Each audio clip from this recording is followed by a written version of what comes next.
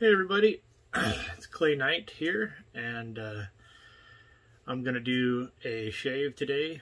This is the first shave I've ever done on camera.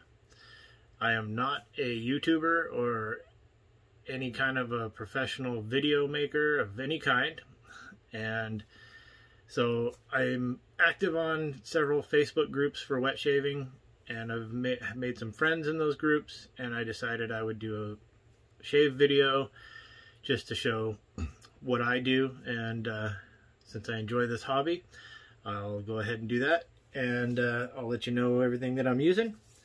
Today I'm going to start out with some ice tube from PAA, uh, Phoenix Artisan Accoutrements.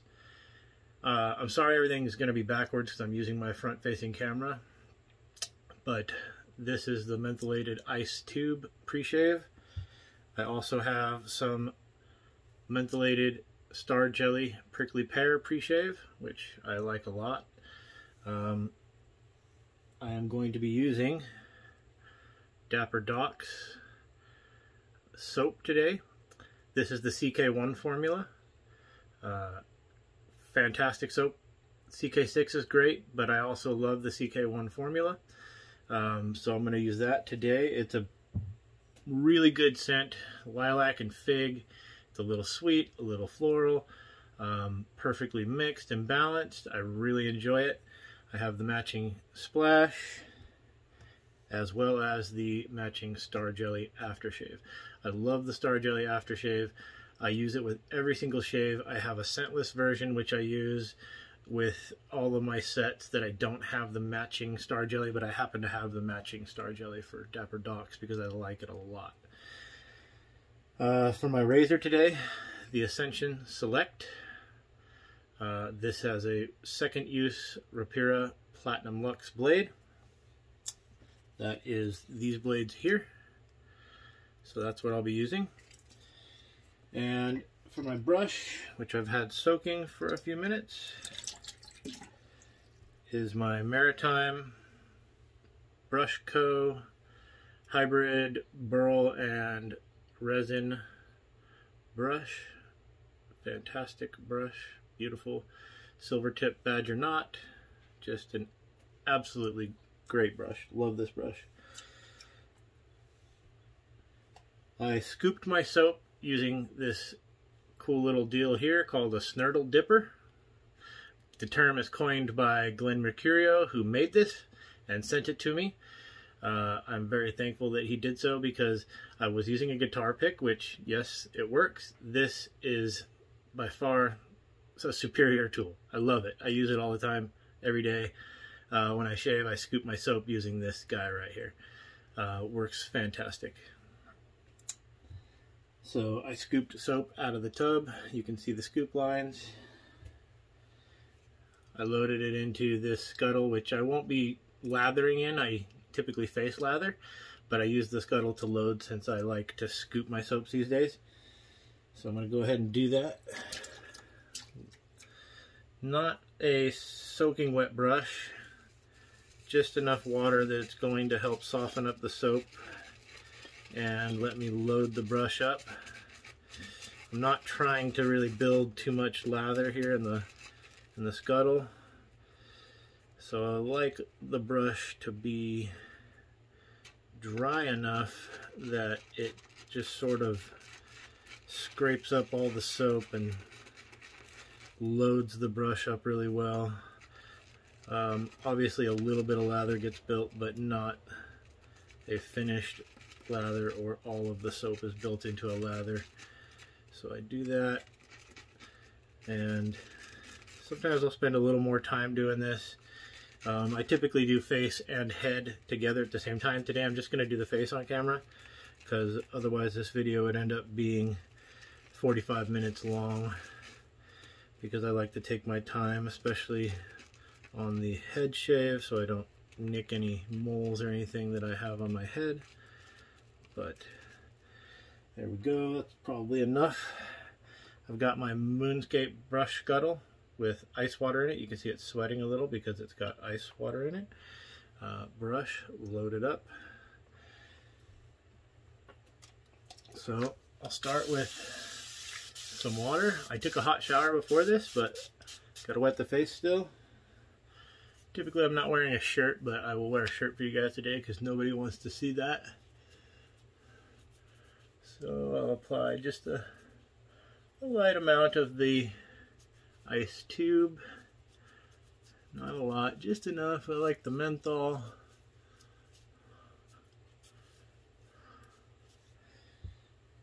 And then I typically take some Star Jelly Prickly Pear Pre-Shave. And I like to apply that to my neck because that's my sensitive area where I have trouble sometimes. And so we will throw some on.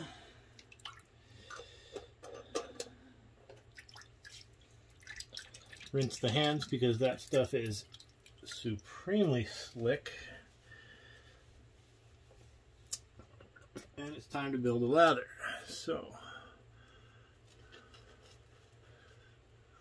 get some soap on there.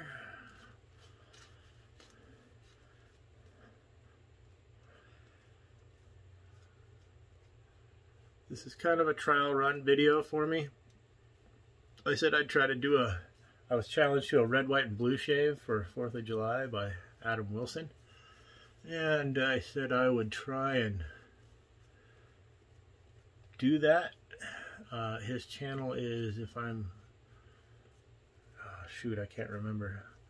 I will, uh, I will link his channel, or at least put the name of his channel in the description. We need some water there. And we're going to build the lather.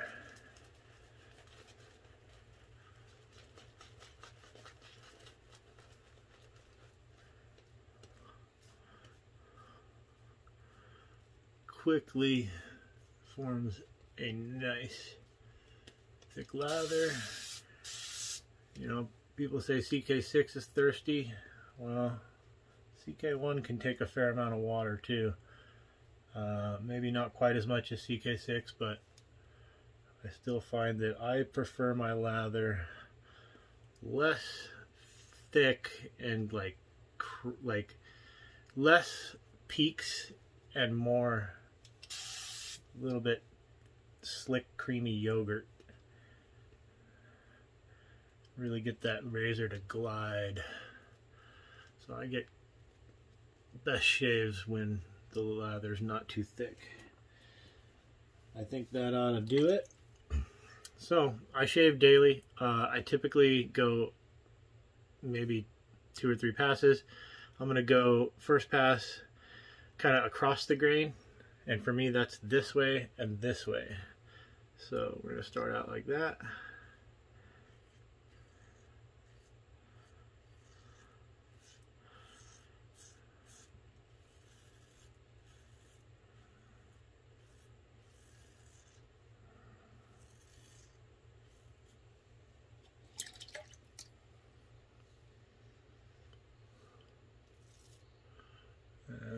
We'll do this side.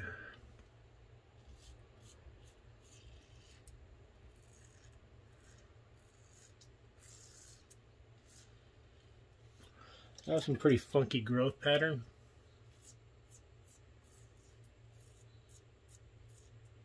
For my beard, especially on the neck, but on the face it grows this way and then kind of this way. It's got a swoop to it.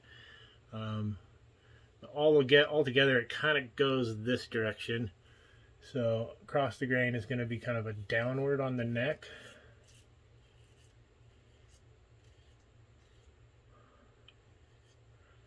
And the chin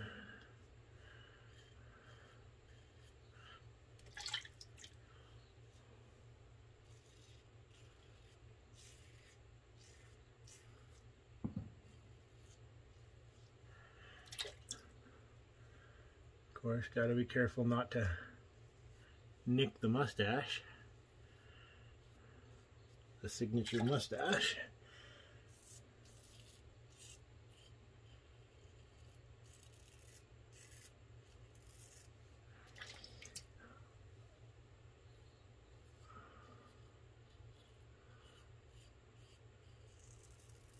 This Ascension is uh, just such a fantastic razor.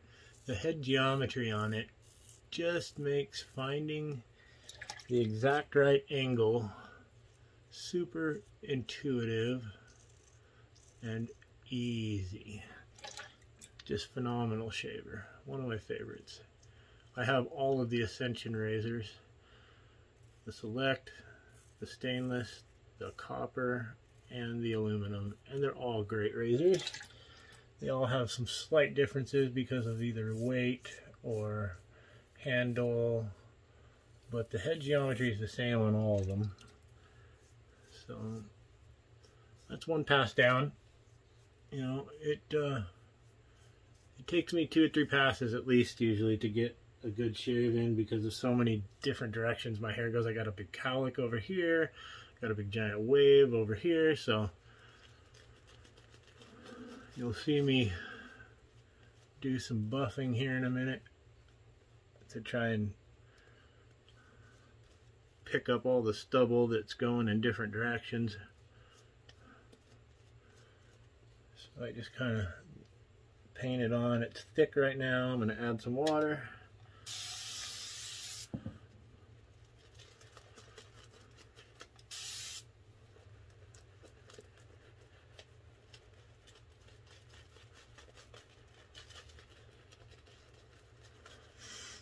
Smells good. Love this soap scent strength on this soap is uh, not super strong. It's kind of like a low medium, maybe like a uh, like a four, I'd say, out of ten. Uh, so it's pretty subtle. It's not like in your face loud. The splash is much stronger in scent, but it's very pleasurable. Um, enjoy this soap a lot it's strong enough that you that you smell it for sure and enjoy it but not so strong that you're gonna get a headache from it or anything or burn your face. You don't get any fragrance burn here. So now I'm gonna go against the grain. And so I'll do a second pass against the grain and then like a third pass is just gonna kind of be all over the place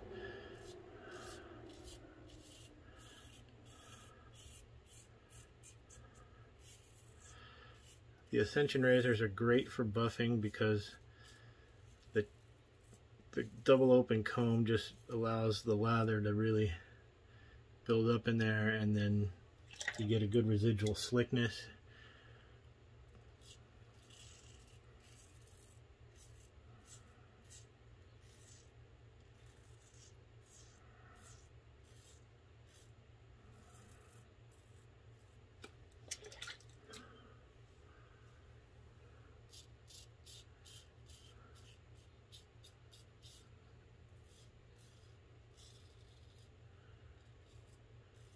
Yeah. So I got some crazy growth patterns. So you'll see me going like five different directions.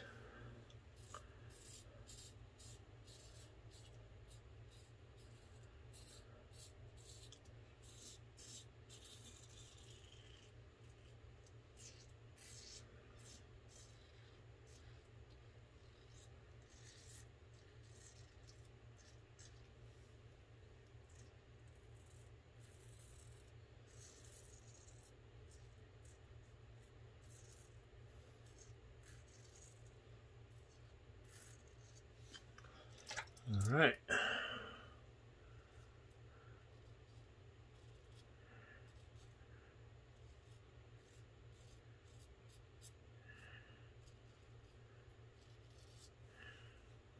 Feels pretty darn good. Now the neck, this is the problem area. This is the area where I have the most trouble. I try to up and stretch the skin down and get a good taut skin so I can really get uh, a close shave without a bunch of irritation.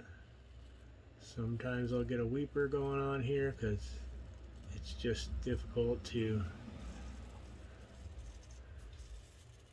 get the uh, against the grain with the angles of my face and the odd growth patterns I have. And you can even see just the tiniest little weeper right there on my chin. I mean, it's tiny, but it's there.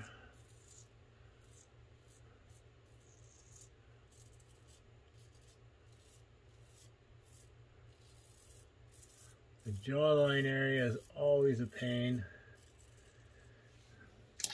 Takes some work to get, especially over here.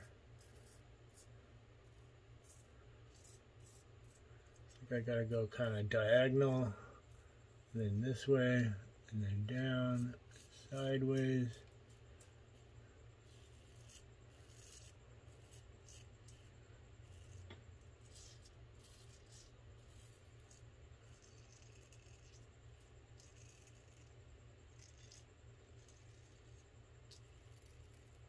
you know, I'll kind of do this little crisscross pattern right here on my neck because I got this crazy cowlick. Literally a circle of growth right there. And if I don't go in basically every single direction, it's impossible to get it smooth. And I'm a sucker for a BBS shave. I love that smooth feel after a shave. I just don't feel like I accomplished a good shave unless I get that super smooth feeling.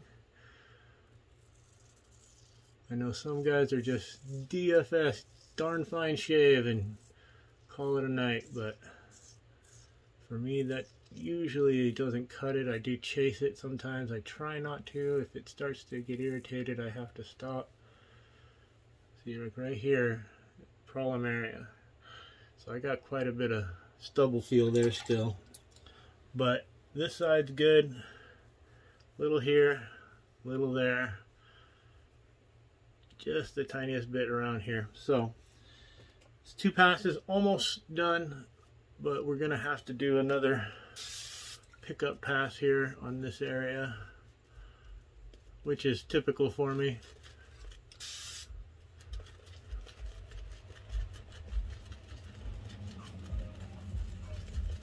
So I know I got the cowlick on the other side of my neck, which for whatever reason, even though I got to go in every direction, I can get that BBS pretty much every time, no problem. This side, for whatever reason, it's got a big wave and it's just difficult.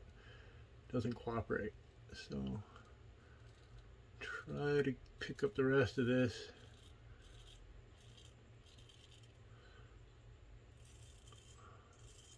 Light pressure almost just, you know, barely, barely pushing it all, just letting the, the razor glide across.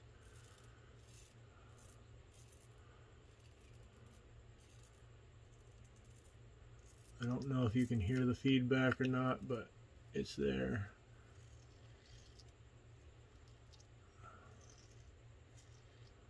And then I gotta get this little spot on my neck right here jawline again. Try not to open any weepers. That's pretty darn good. One little spot right there.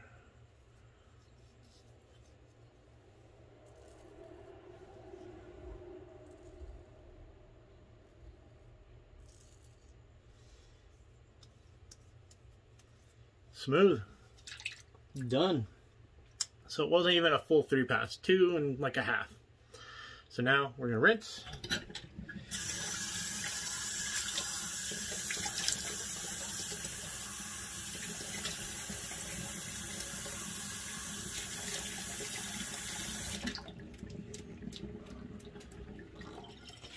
And wipe off.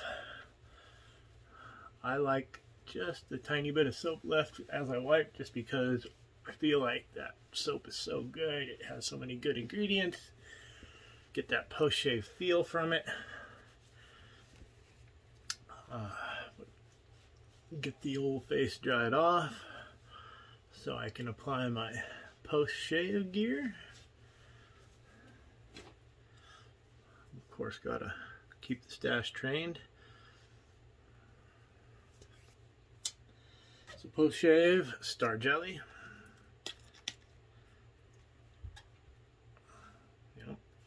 And just, this is the way I do it. I go star jelly first.